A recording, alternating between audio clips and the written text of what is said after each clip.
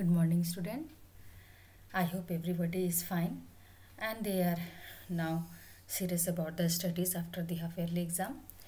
So, in IP class, today I'll tell you regarding the types of the networking.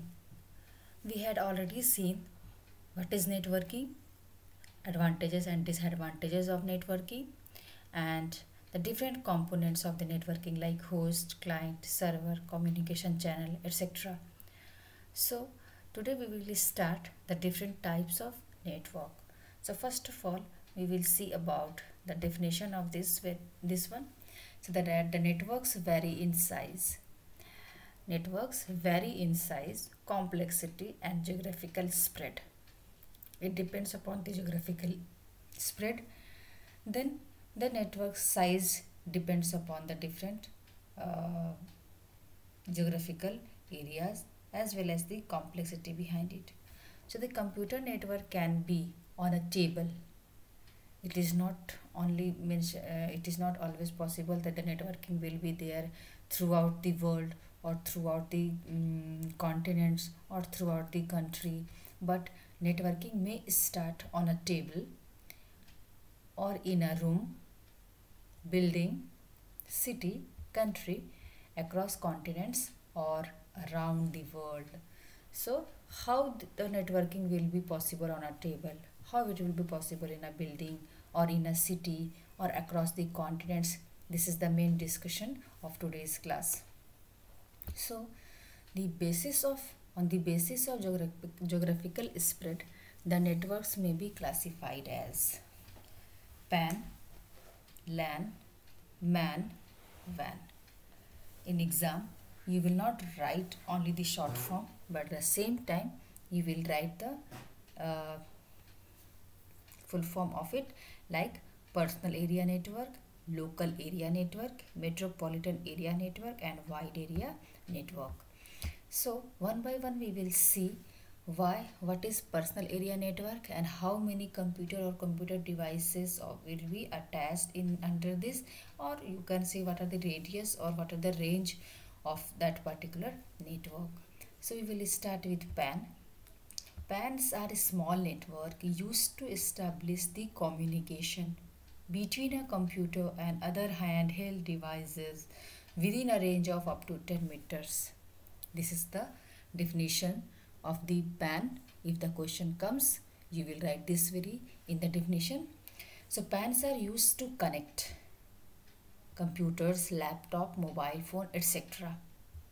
It is a very small network and within a range of 10 meters only whichever computer devices are there that only can be connected. That can only be form a network. Computer devices can be computer laptops or mobile phone etc you have already used uh, you all are using this particular network like for example wireless computer keyboard. If you are using the keyboard without the wire then it is the wireless computer keyboard and this is the best example of pan as well as mouse. Mouse is also coming nowadays with wireless. Then bluetooth enabled headphones. I'm using this to record the video. So this bluetooth enabled headphones the headphones are there without the wire that is also the type of the personal it is also form of pan wireless printers and tv remotes. Tv remotes regularly every day you are using. This is also tv remotes are also an example of pan that is a personal area network. Okay? Because you um, these remotes are not connected with the tv with the help of wire. Okay? So this is the examples of pan wherever this pan um, or you can say the form of network whenever will be of wireless computer keyboard and mouse bluetooth enabled headphones etc will be used that form the network known as pan that is a personal area network. So the range you should know about it and the example of each. Next network is local area network. Local area network. As the name suggests the same implies also. LAN is privately owned computer network. Privately owned either a single person or single organization can be owned. Covering a small geographical area. It covers a very small geographical area like home office or a building such as a school. So if in a building any building computers are connected with each other then it form the network as LAN. It can cover an area spread over a few meters to a radius of a few kilometers. Generally the few meters can be the 500 meters to 5 kilometers it can be said. The purpose of LAN, the very important thing regarding the LAN purpose is to serve its users in resource sharing resource sharing as i told you earlier that if you want to share the resources of the computer like printer scanner hard disk etc that can be done with the help of LAN. So the main purpose of LAN is the resource sharing. So it can cover a very small area like a home, offices, etc. Next type of network is a metropolitan area network man is larger than a LAN and can cover a city and its surrounding area. If all over the cities computing devices will be connected with each other then it forms metropolitan area network. It is larger than LAN. It usually interconnects a number of LANs. If small small LANs are there then basically it is used to connect the LANs as well as the individual computers. A MAN is owned and operated by a single entity such as a government body or a large corporation. a LAN is owned by a private organization whether it is a single person or a single organization but man is owned and operated by a single entity such as government body or a large corporation. Okay so it is greater than LAN fourth type of network is wide area network. A network which is spread across the countries or a continents or a very large geographical area are known as WANs. The best known example of WAN is the internet. So here wide means the large geographical area when the computers are connected with each other. The large geographical area can be across the countries or can be, can be across the continents. So if across the country or across the continents computers are connected then is formed wide area network or WAN. Our WAN example is internet. Okay. So these were the four different types of networking and the differences between each other is also important which is given in the book.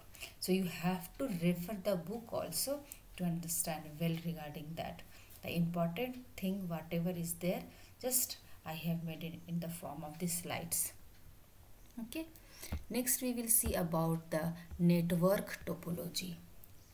Network topology is also one of the very important topic of networking.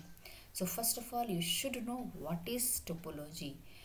Topology is a way of connecting several devices. Several devices means several computing devices, several computers with each other on a network so when how the computers are connected with each other to form a network is known as topology or you can say the pattern in which the computers are connected are known as topology.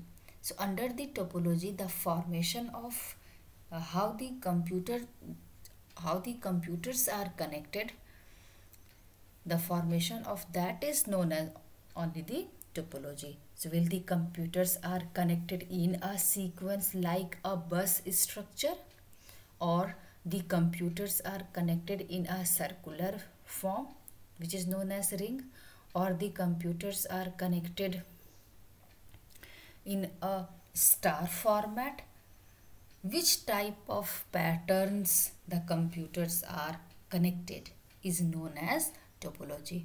So the, there are different types of topology and basically five types are there. So we will see what are these five types.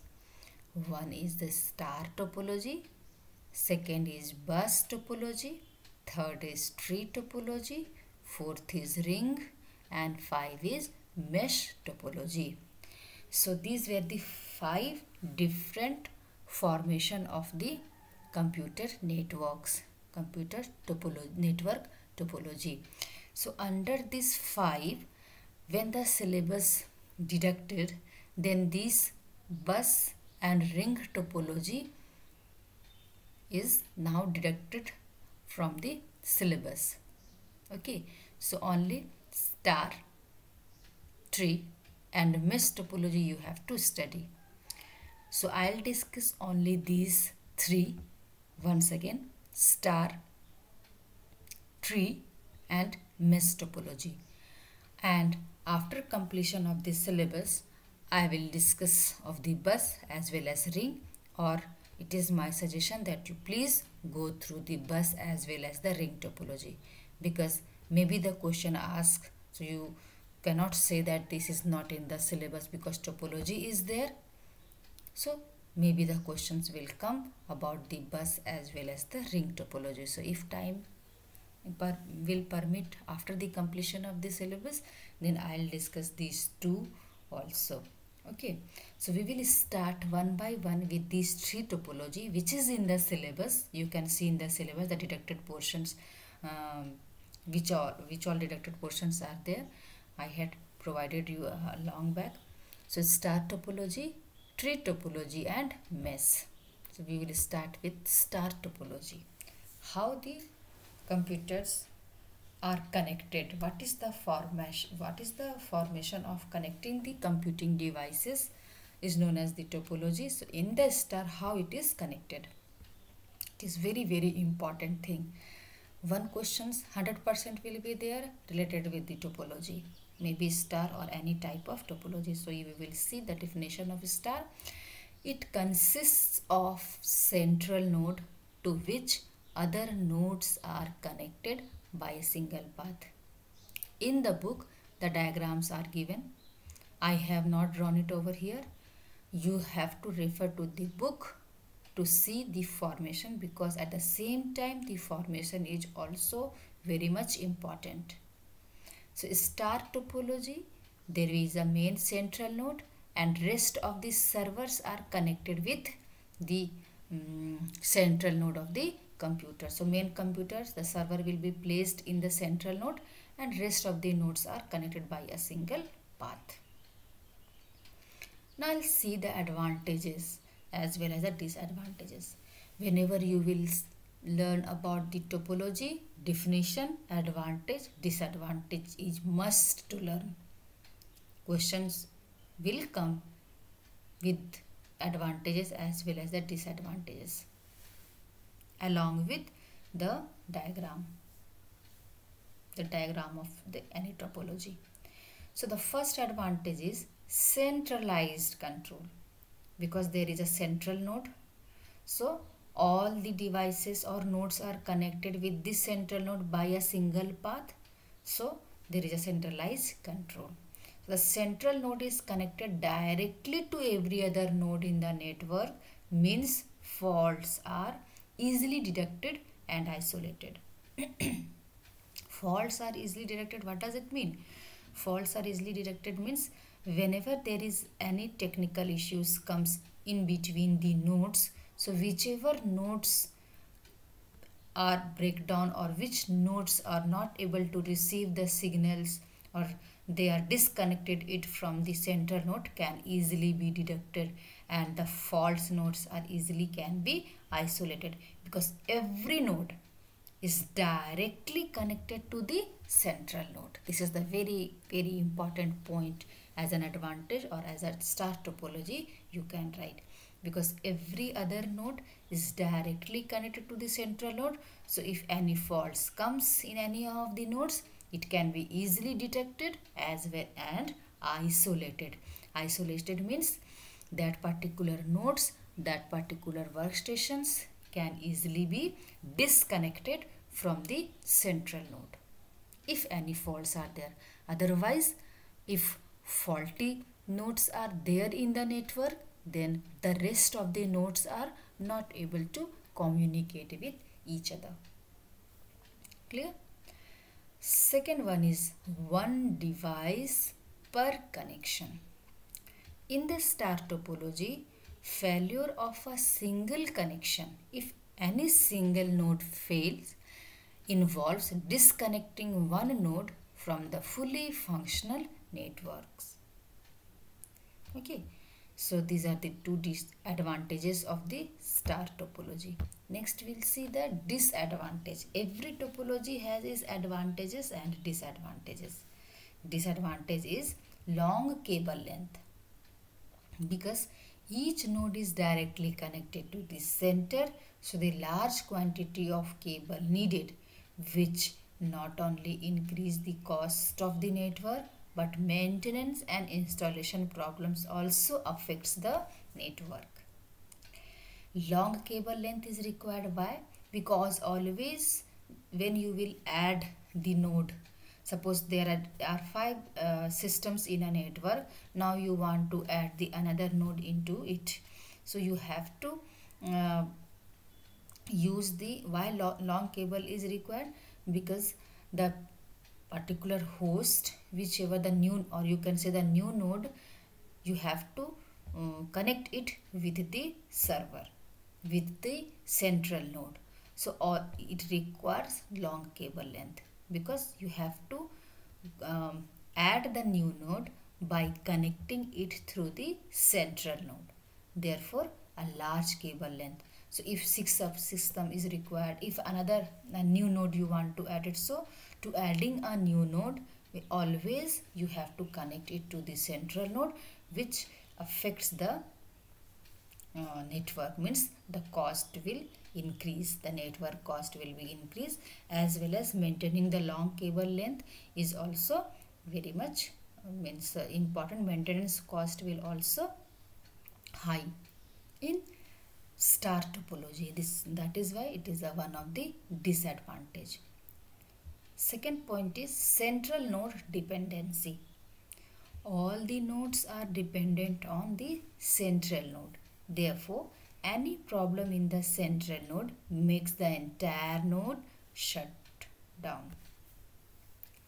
Because there is a dependency on the central node so all the nodes are dependent on the server. Server is only the central node. Okay. So if central node having any problem then the entire node shut down because every node is connected with the central node so this is the two advantages as well as two disadvantages of star topology next topology we will see tree topology and advantages and disadvantages. So tree topology is a variations of bus topology because bus topology is out of syllabus so you are not uh, I have not shown here. So the tree topology is a variation of bus topology. What happened in bus topology? There is a main uh, connecting uh, lines and in each and in that very connecting lines all the nodes are connected. Okay.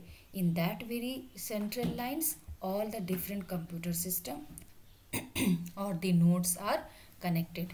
So in the tree topology is the also look like a bus topology and the shape of the network is that of an inverted tree the structure of the tree you have seen no the main root is in down and rest of the branches in upward uh, directions so here in tree topology, it looks like an inverted tree.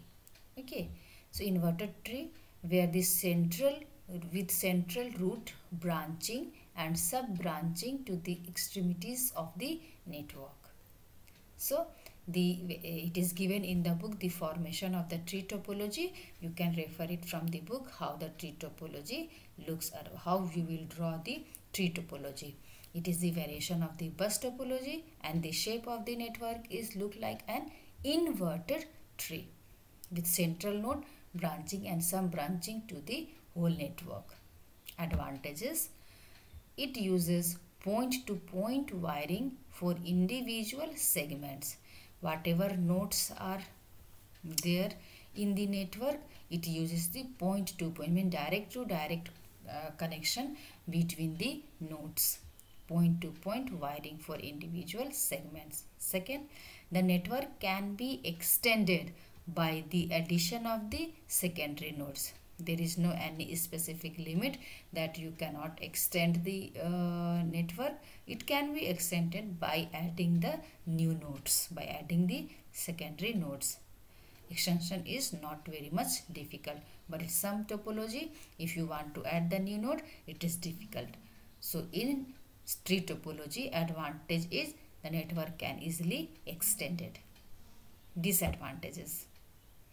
If the backbone line breaks. Backbone line means the central line where the other computers are connected. So if the backbone line breaks the entire segment or the entire node goes down.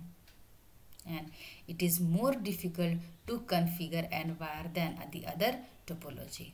So this is the disadvantages that the um, if any node fails then it is difficult to reconfigure it or configure it and the wiring is also difficult in comparison with other topology in tree topology.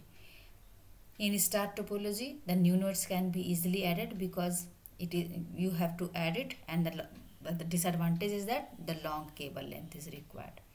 Okay so it is more difficult to configure and wire than the other topology. Third topology is the mesh topology. We will see the advantages as well as the disadvantages. So mesh topology is the topology where each node is connected to more than one node. In rest of the two topology we had seen that, that there, in star topology there is a direct connection between the central uh, central node or central server to the host. There is a point to point or direct to direct contacts between or connection between the server. But here each node is connected to more than one node. One node connected with rest of the nodes so means direct to direct connection between each node so more than one node pro to provide an alternative route.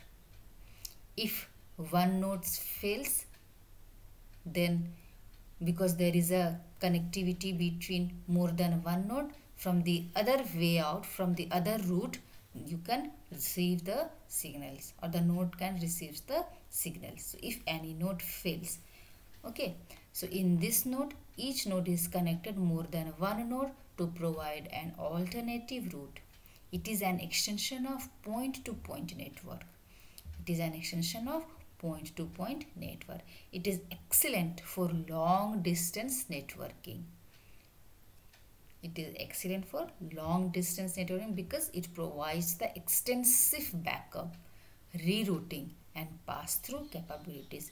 Because of these important points, it is excellent or it is used for long distance networking. Mesh topology where each node is connected with more than one node. This this line is important regarding the um, mesh topology. Each node is connected to more than one node and the diagram also given in the book you can refer to the book and to draw the diagram. Because when you are uh, preparing the questions from the topology the diagram is also very much important.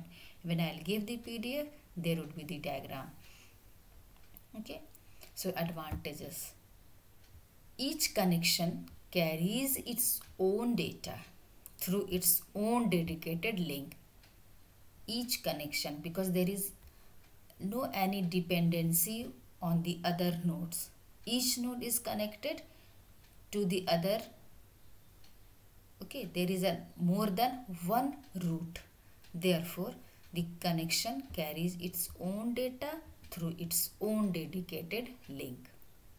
A mesh topology is robust. if one link become unusable, it does not affect the entire system because each node connecting with the other in more than one connection. Okay, therefore one link becomes if one link or one node become unusable it does not affect the entire system because there is a more than one route are there one link are there in mesh so it is robust disadvantage. Its installation and configuration is difficult. To configure the mesh topology and to install installation of mesh is a difficult one. Cabling co co cost is more for mesh. Because there is more than one route for each node therefore obviously the cabling cost will be increased bulk wiring is required for mesh topology. Why bulk wiring? Because each node is connected with more than one uh, uh, each node is connected to more than one node to provide the alternative route. Therefore wiring is also bulk wiring is required. Because there is no only a single path. Multiple paths will be formed in mesh topology. And multiple path means multiple wiring multiple cables will be required. So bulk wiring is there required in mesh topology. So these were the advantages and disadvantages of network topology. So today's class this only i wanted to discuss you. The rest to topology i will tell you after completion of the syllabus. Important questions related to the topic today's topic as well as the previous topic. What is network and why it is needed is very much important. You need to uh, write down in your classwork copy not the assignment one. Mention two advantages and two disadvantages of network. What are the various types of networks? Illustrate the layout for connecting five computers in a star and mesh topology of a network. Means layout means you have to draw the diagram of the mesh as well as star if there are five computers. We have to show it your diagram with the help of five computers. In star topology you have to form and the mesh topology diagram you have to draw while then you will refer to the book it will be clear. Next question, the fifth question is there how WAN is different from LAN? This very very important question. How the WAN, which is the wide area network, is different from the local area network. Mention three points. You can mention three points or four points. You have to learn at least four points regarding that differences between WAN and LAN. So these were the different questions, important questions of this very chapter. Next class we will see about the network devices. Then another set of questions will arise. Another set of questions I will be giving to you. So till then you take care yourself and you revise the topic properly. Thank you so much. Goodbye.